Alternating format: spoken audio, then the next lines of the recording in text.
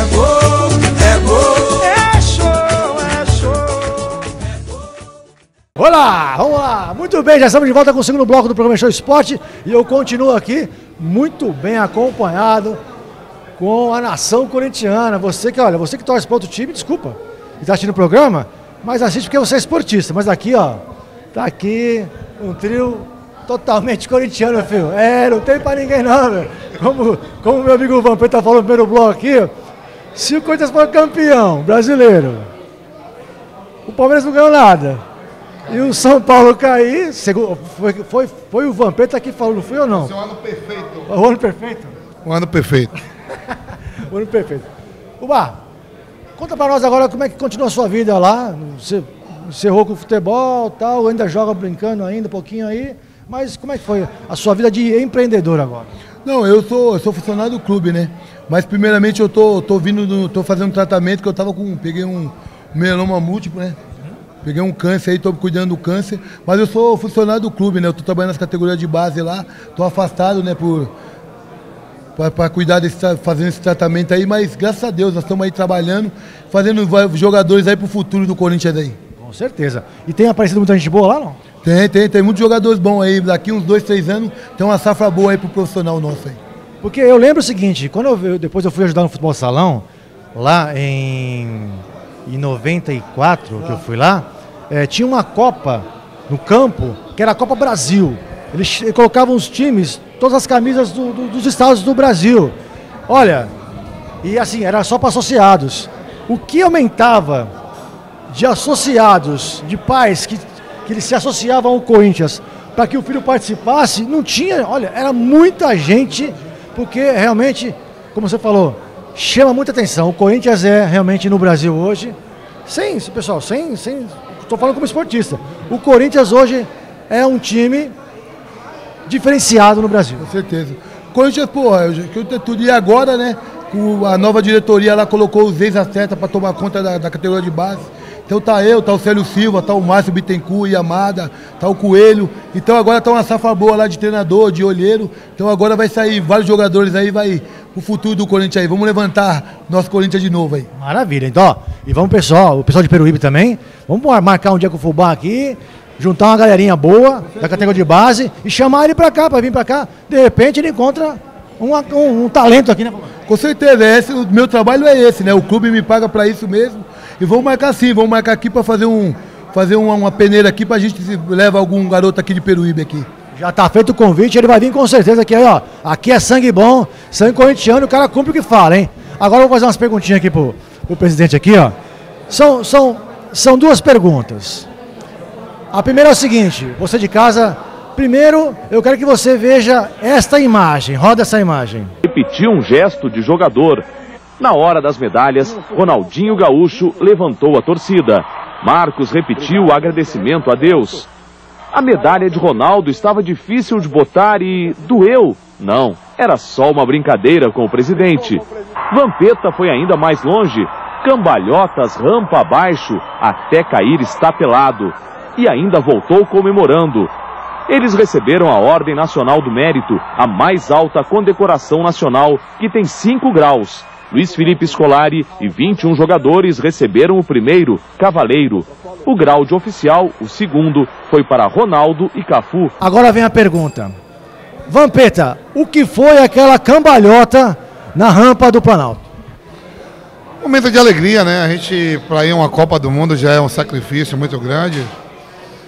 Né? E fazer parte dos 23 que foi aquela Copa do Mundo e o Brasil se saga campeão, eu volto né, um pouco mais alegre, bebendo.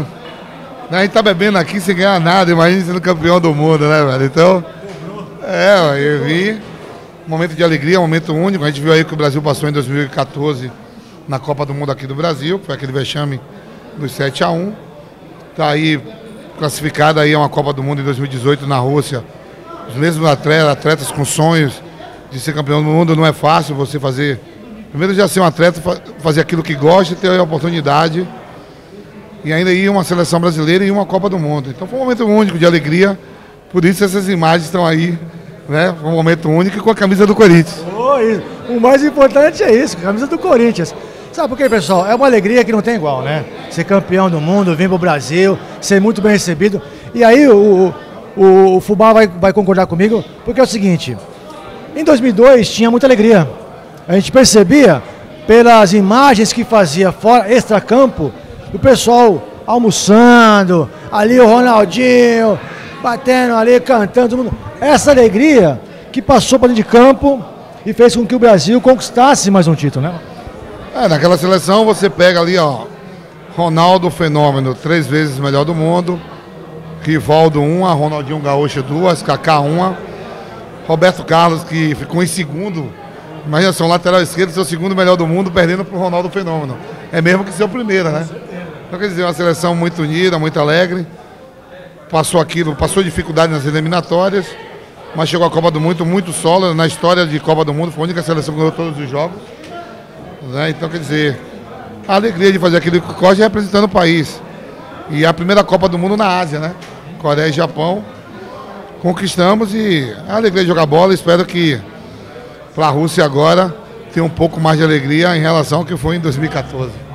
Certeza. E agora minha outra pergunta é a seguinte: é, esse, esse empreendimento, você chegar à presidência desse clube que já teve uma, uma história e que está tentando reconquistar essa história, para você, como é que foi chegar a isso, a essa atitude de falar assim, não, a partir de agora estou tendo a oportunidade, pesquisei realmente e vamos tentar abraçar esse grande time que é o Audax e fazer com que ele volte realmente à elite do futebol brasileiro.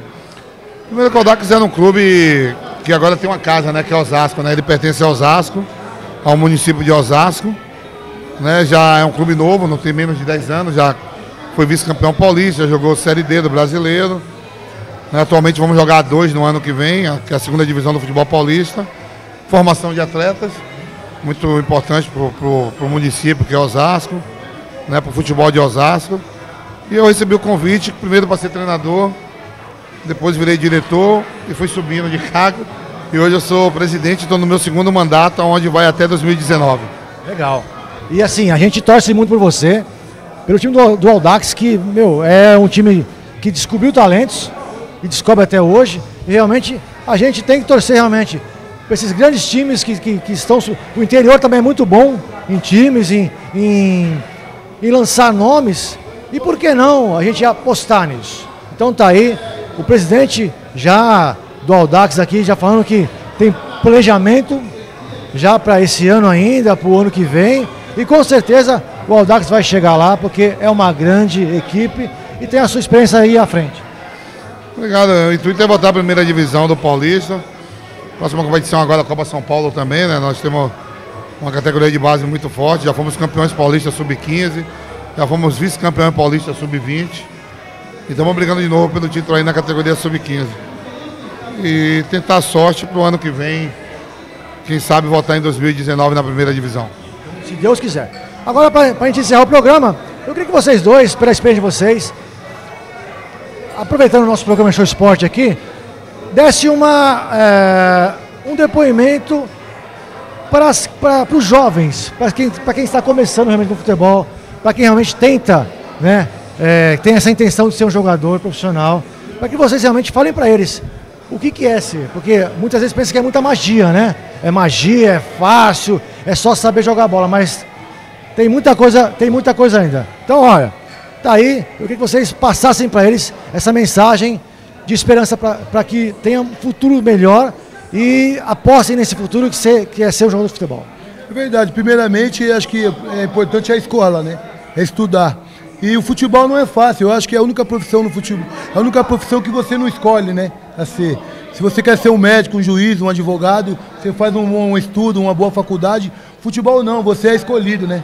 Você, não, você é escolhido. Então é o seguinte, eu acho que para chegar, são muitos que, que, que, querem, mas é poucos que chegam.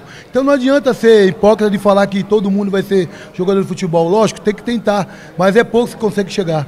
E o importante é estudar, né? Sempre, né? Acho que o estudo é a base de tudo. Como dizia o Romário, né? Deus apontou e falou assim: você é o cara.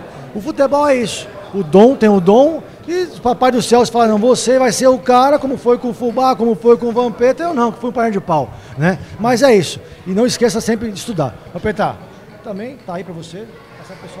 É, é o que o Gilmar falou, né? E persistir nos seus sonhos, né? Não só na modalidade do futebol, o esporte em si, tem várias modalidades que buscam seus objetivos e seus sonhos. Pessoal, muito obrigado. Sucesso a vocês, imen- mais do que você já tem, sucesso. E Peruíbe está de portas abertas para que vocês venham aqui. Opa, pode falar. Não, só queria dar os parabéns pro Sérgio, né, pelo novo empreendimento dele do Hércules aqui, já tem um rancho lá, já tem tudo. E tá de parabéns, né? Mais um, mais um, um divertimento pra cidade aí. Acho que o Sérgio tá de parabéns aí por, por, por, por esse empreendimento. Maravilha. E parabéns a vocês por estar aqui e fazer parte da história de Peruíbe com essa presença marcante aqui no Bar e Restaurante Arco-Íris, que olha, fantástico essa presença de vocês aqui, fez com que o sucesso deles seja maior ainda, tá bom? Muito obrigado a vocês, sucesso para o Aldax, sucesso para você, saúde para a família, que eu sei que assim é super importante isso.